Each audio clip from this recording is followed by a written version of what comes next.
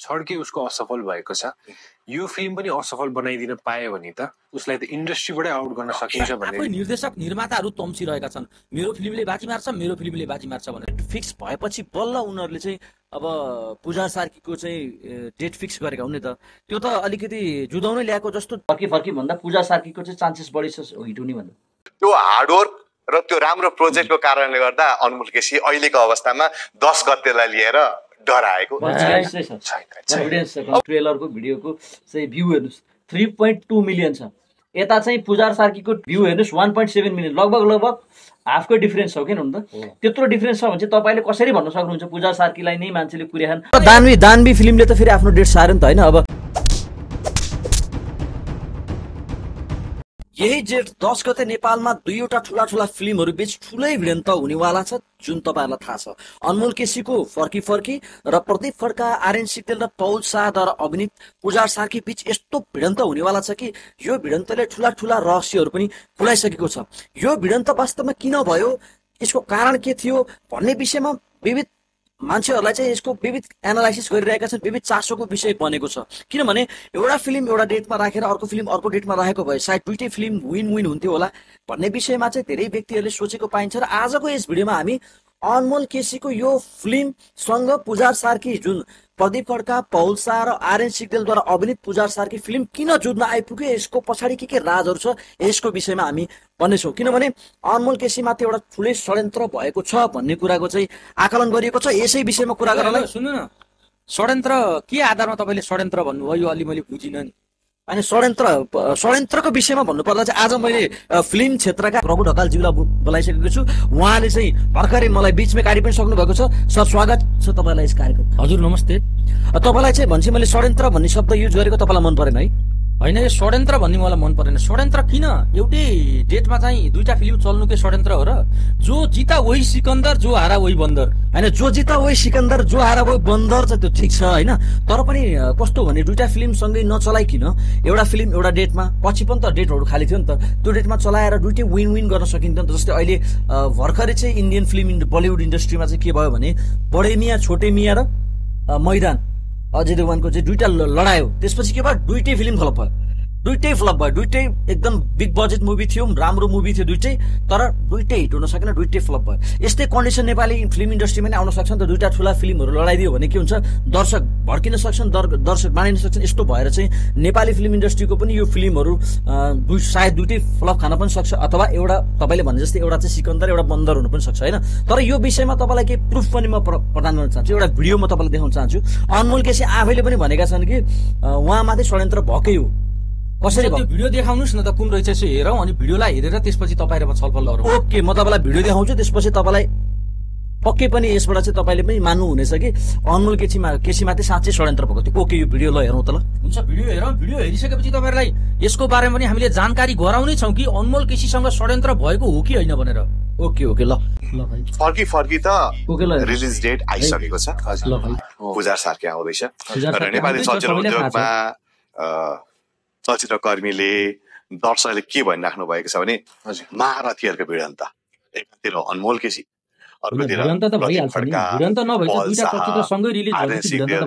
नेपाली चलचित्र उद्योगको पछिल्लो समयका हजुर। महारथीहरूको भिडन्तको रूपमा लिइरहेको अवस्था छ। हो। होइन?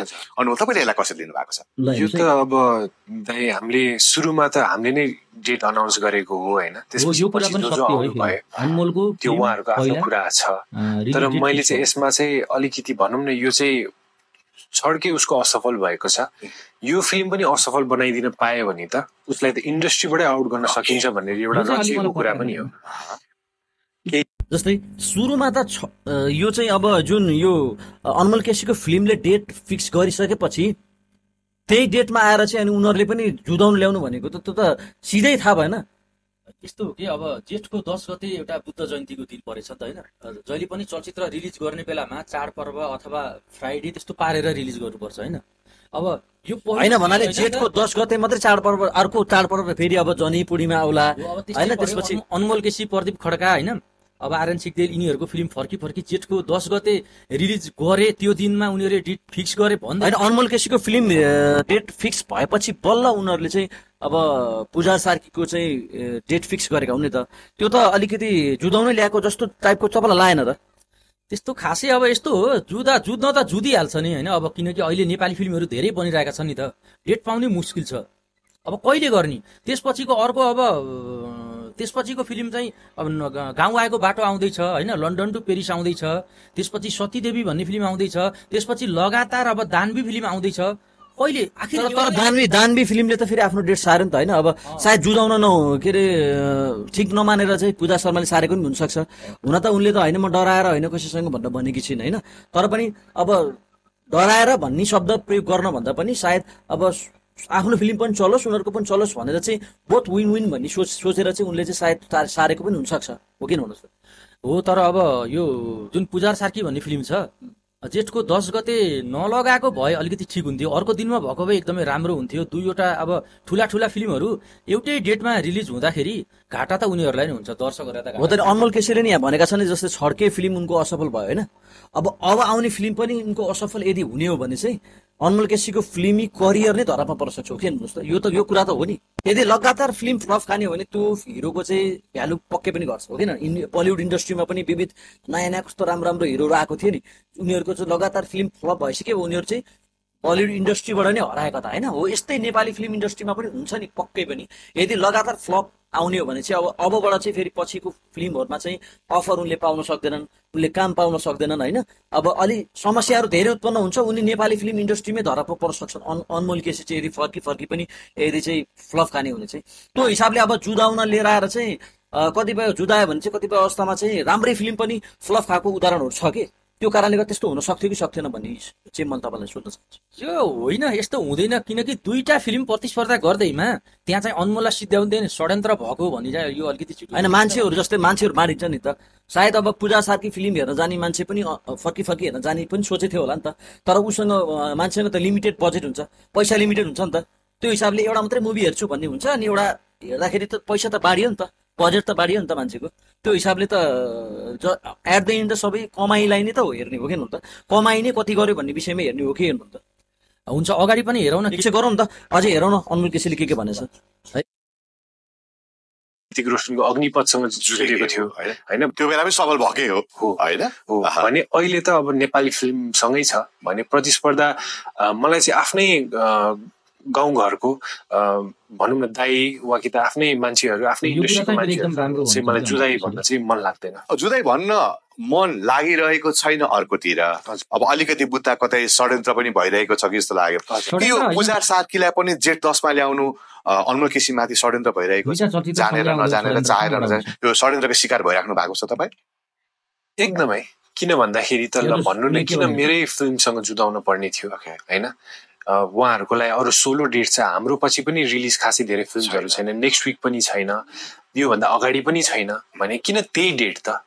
होइन इन्डस्ट्रीमा त मिलेरै जाने हो भने त there is always a way हामी बसेर टेबल टक गर्न सकिन्छौँ। होइन एकचोटि डिस्कस पनि भएन।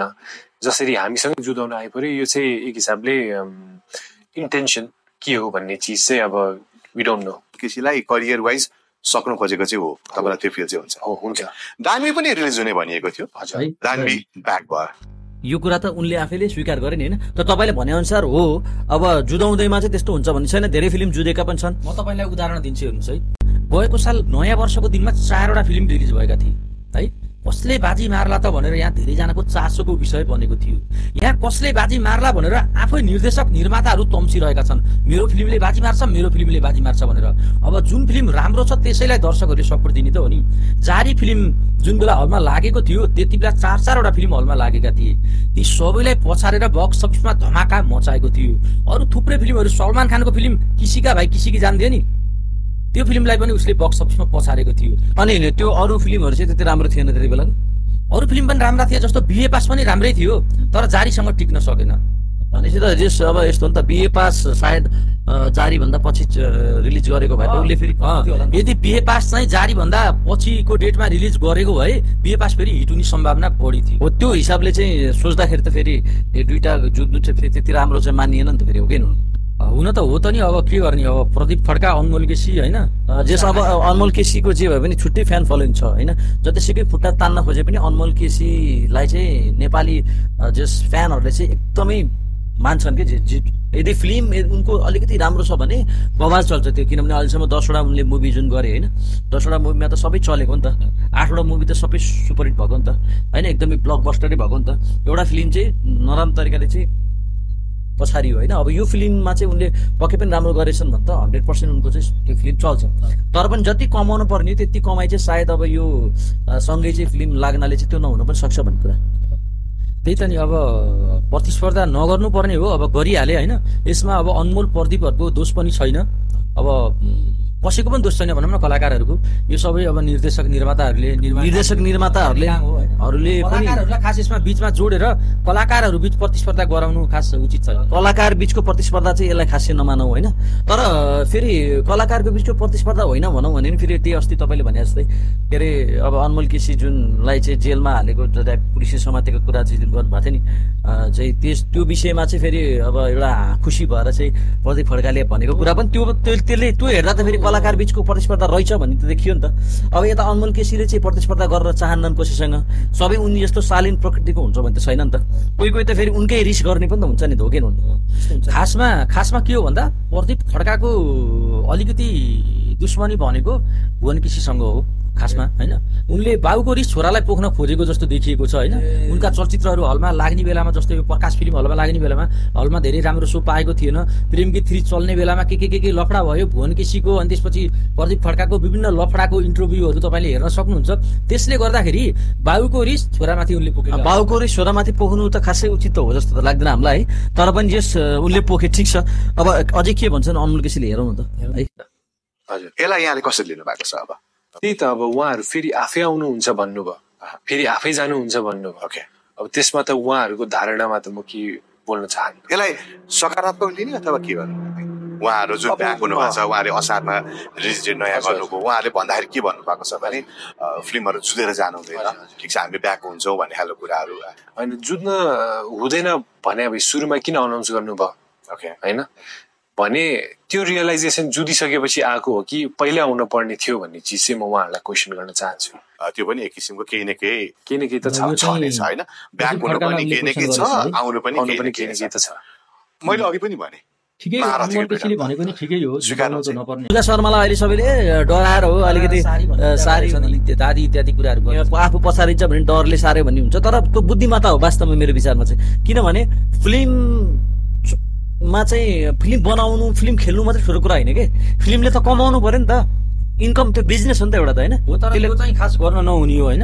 अब बाबुको रिस चाहिँ छोरामाथि होइन भालुको रिस खनियामाथि भालुको रिस खन्यामाथि गरे है त्यस्तै भयो कि। बाउको रिस छोरामाथि चाहिँ पोखे प्रदीप खड्काले। भालुको रिस खन्यामाथि गरे। है हो सही उहाँले ल्याउनु भयो अब अझै हेरौँ त के भन्छन् है। र उद्योगमा सुपरस्टारको ट्याग पाउने स्टार मध्येका एक हुनुहुन्छ।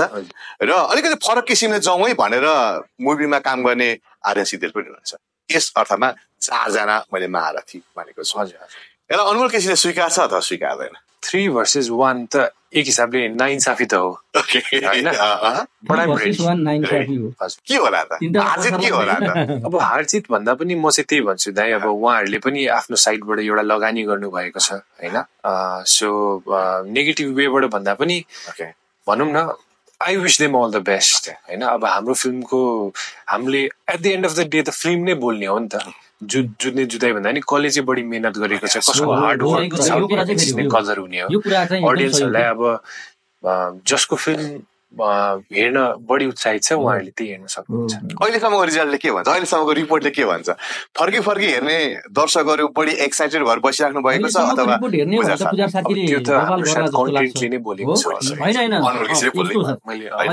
रिजल्ट हेर्ने हो भने सार्कीले बबाल होइन।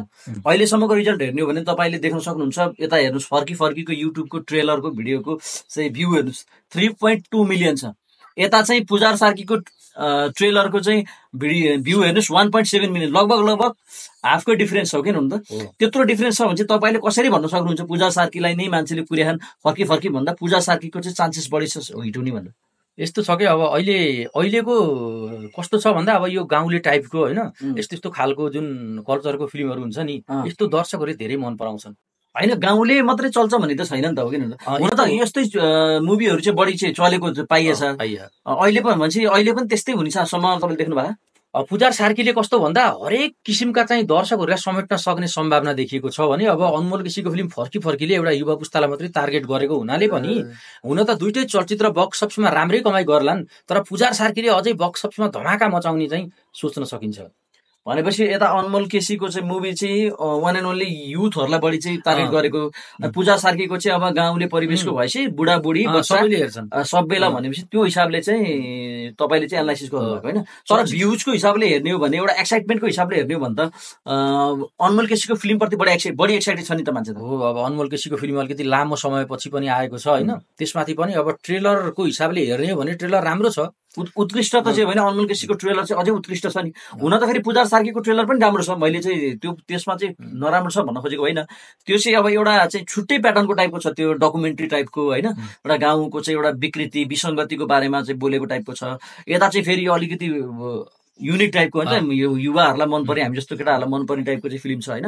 त्यो हिसाबले ठिक छ। अझै अनमोल केसीको कुरा सुनौ न के छ है। होइन, उतापट्टि तिनजना हुनुभयो। थ्री भर्सेस वान भयो होइन? तिनजना मध्ये नि अनमोल तपाईँलाई कोसँग चाहिँ अलिकति डर लागिरहेछ? पल शाह प्रदीप खड्का अथवा आर्यन त्यस्तो छैन दाइ किनभने हामी कम्प्लिटली डर- डिफ्रेन्ट जनर्सको फिल्महरू हो। तर पनि दर्शकले त जनर फरक यता फरक भन्नु हुने क्या जुदाइ ऊ तिनजना फल्ला फल्ला फल्ला भन्ने भयो क्या फेरि समकालीन भयो के? फेरि स्टार ट्याग पाएका भयो के? फेरि एकपछि अर्को अनमोल केसीको नाम लिँदा प्रदीप र पलको नाम लिएन भने पनि अपुरो हुने अवस्था देखिन्छ। होइन? पलको नाम लिँदा अनमोल केसी र प्रदीप खड्काको नाम लिएन भने अपुरो। प्रदीप खड्काको नाम लिँदा अनमोल केसी र पल शाहको नाम लिएन भने पनि अपुरो देखियो के? तिनजना त्यो खालका स्टार हुन् नेपाली चलचित्र उद्योगका प्लस आर्यन सिग्देल प्लस।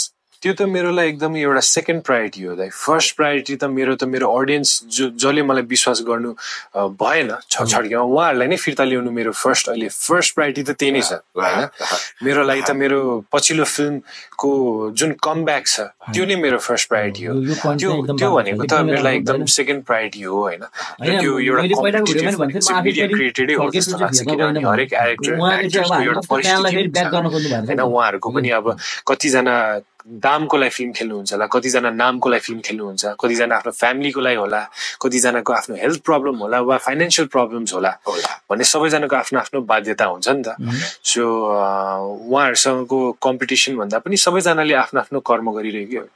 यो दस गतेपछि जो जिताए ओइ सिकन्दर भन्ने अवस्था चाहिँ जो आएर वही बन्दर। कुरा गरेँ।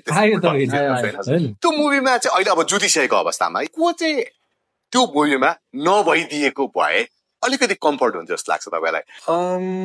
अनमोल मलाई त अब? सबैजनाले आफ्नो साइडबाट राम्रै नभइदिएको भए थ्री भर्सेस नहुने अवस्था थियो एकजना मात्रै गर्छ। कम हुन्थ्यो भने चाहिँ को चाहिँ हुन्छ त्यति मध्ये त स्ट्रङ चाहिँ अँ, त्यो को तिनटा भन्दा अझै बढी हिरो भएको भए पनि सायद मेन अनमोललाई यो भनेको फिल्ममा एक्टर्सहरू धेरै हुँदैमा। पावरफुल हुने वा कम हुँदैमा कम होइन मेन त कन्टेन्ट बलियो हुनु पर्यो। कन्टेन्ट जसको राम्रो छ होइन त्यो चाहिँ बेटर। कन्टेन्ट आफ्नो ठाउँमा त दर्शकले त बुझिसक्नु भएको छ। होइन तर फाइनली जाने भनेको त स्टारको कुरा आयो नि त होइन अहिले हामीले पनि नचुक्योस् भन्ने आशा नै गरे हो कि। फिल्मवालाले के फिल्डमा गर्नु हुन्छ नि, बाटोमा चाहिँ फिल्डमा मैले आएपछि त थाहा अरू हुन्छ प्रोग्राममा कि बोल्दाखेरि अस्ति अब तिमीहरू नजुतेको हिरो राम्रो। भन्ने नै मेरो मेन्टालिटी थियो सायद मलाई त्यस्तो डर चाहिँ किन छैन भने हेर्नुहोस् अब आर्यन दाई भनेको मभन्दा अगाडि आउनु भएको व्यक्तित्व. भने पल र प्रदीप भनेको म पछि आएको व्यक्तित्वहरू हो नि त म सँगसँगै आएको भन्ने त्यस्तो कुनै छैन छैन त्यो त मिडियाले बनाएको हिसाबले कम्पिटिसन र एउटा एउटा त्यो एङ्गल मात्रै हो होइन सो त्यसमा चाहिँ भनौँ न त्यो जुन चाहिँ मिडिया क्रिएटेड जुन रेस छ. त्यसमा म दौडिन चाहन्न दाइ ऊ त छ आठ त छ नि तिनजनासँग ज्या पनि करियर वाइज चाहिँ जान सक्छु। भन्ने हिसाब त त्यो त अनमोलमा छ नि होइन होइन आर्ट भन्दा पनि आफ्नो प्रोजेक्ट र हार्डवर्कमा कन्फिडेन्स चाहिँ छ जो त्यो हार्डवर्क र त्यो राम्रो प्रोजेक्टको कारणले गर्दा अनमोल केसी अहिलेको अवस्थामा दस गतेलाई लिएर डराएको। अब अघि तपाईँले। कुरा गर्नुभयो। सबभन्दा पहिला मैले छड्केमा मैले ल्याउन? नसकेको दर्शकलाई तान्नु छ। किनभने त्यो दर्शक कि। साथीहरू उहाँलाई तान्नु भनेको ठुलो त्यो चाहिँ कतिको आशा छ त? हजुर अहिले चाहिँ भनौँ न पछिल्लो समयमा हाम्रो जसरी ट्रेलर्सहरूको भ्युजहरू गइरहेको छ हाम्रो गानाहरू जसरी। गइरहेको छ। हिसाबले। चाहिँ अडियन्सले त मबाट अझ पनि एक्सपेक्ट गर्नु भारी छ नि त। अझ पनि मलाई एउटा मौका दिने त सोच राख्नु भारी छ नि त भन्ने चिज चाहिँ कुरै गर्न चाहे। रामायण अनमोल कता चाहिँ रामायण मुभीको नाम लिने हो भने सायद अहिले पनि मुटु? ढुक्क गर्छ डर लाग्छ। रामायणको नाम लिँदाखेरि। यो चाहिँ फिल्म। चलोस् राम्रो चलोस्। तर अब त्यो चलोस् भन्दा चल्ने त होइन. फिल्म थाहा हुन्छ चल्ने हो कि होइन। तर आई थिङ्क है चान्सेस चाहिँ चल्ने चाहिँ धेरै छ। ठिक छ आजको यस भिडियोमा चाहिँ हामीले विशेष गरी कुरा गऱ्यौँ अ, अनमोल केसीमाथि कस्तो खालको षड्यन्त्र भइरहेको थियो त्यसलाई अनमोल केसीले कसरी लिएका छन् र अनमोल केसी त्यो विषयमा कन्फिडेन्स छ कि छैन आफ्नो फिल्म चल्छ कि चल्दैन भन्ने विषयमा। त समग्रमा हेर्दाखेरि चाहिँ के देखियो भने अनमोल केसीमाथि षड्यन्त्र त भएकै रहेछ तर अनमोल केसी आफ्नो कन्टेन्ट आफ्नो मेहनत आफ्नो फिल्म प्रति चाहिँ कन्फिडेन्स छ र उनको फिल्म चल्छ भन्ने हुन लाग्छ है। त्यो विषयमा चाहिँ अनमोल केसी आफैले भने तपाईँले लास्टमा के के भन्न चाहनुहुन्छ त दर्शकहरूलाई? चाहिँ कस्तो हुन सक्ला साँच्चैको षड्यन्त्र भएको हो कि होइन भन्ने विषयमा सर्टकटमा ल अन्तिममा भन्नु। होइन षड्यन्त्र त्यस्तो केही पनि छैन। यी दुईवटै नेपाली चलचित्रहरूलाई हामीले माया गर्नुपर्छ फर्की फर्की पुजार सार्की तर एउटा कुरा के हो भन्दा चाहे फर्की फर्की होस् चाहे पुजार सार्की होस् हलमा हेरेर आइसकेपछि जुन चाहिँ फिल्म राम्रो छ त्यसलाई चाहिँ सपोर्ट गरिन्छ। नराम्रो फिल्मलाई फेरि राम्रो भनेर चाहिँ हिँड्नुको भएन। नराम्रो फिल्मलाई नराम्रो राम्रो फिल्मलाई राम्रो भन्नुपर्छ। त्यही अनुसारको रिभ्यू पनि हामीले जेठको दस गते फर्स्ट सो फर्स्ट रिभ्यू ल्याउनु छु तपाईँहरूको लागि। प्रतीक्षा गर्नु होला अहिले चाहिँ तपाईँहरू कुन फिल्म हेर्नका लागि एकदमै एक्साइटेड हुनुहुन्छ कमेन्ट बक्समा गएर प्रतिक्रिया दिन नबिर्सिनु होला। है कसको फ्यान धेरै छन् हेरौँ हामी पनि। अर्को भिडियोमा फेरि यस्तै फिल्मी रिभ्यूसँग सम्बन्धित भिडियो लिएर आउनेछु त्यो तिनजनासम्मको लागि हेभ अ गुड टाइम कस्तै